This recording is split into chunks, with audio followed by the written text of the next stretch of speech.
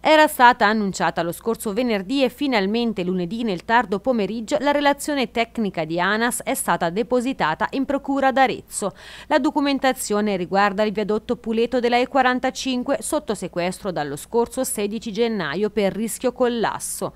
La consulenza è stata consegnata tramite un avvocato del Foro di Firenze negli uffici del Palazzo di Giustizia Aretino. Oggi i consulenti della procura la valuteranno e non è escluso che possano essere nominati altri periti. Tra le ipotesi c'è quella di iniziare subito i lavori di riqualificazione e messa in sicurezza del viadotto, un'opzione che la Procura di Arezzo aveva concesso sin dal sequestro e valutare nello stesso momento una riapertura parziale controllata della E45 attualmente chiusa tra Valsavignone e Canidi.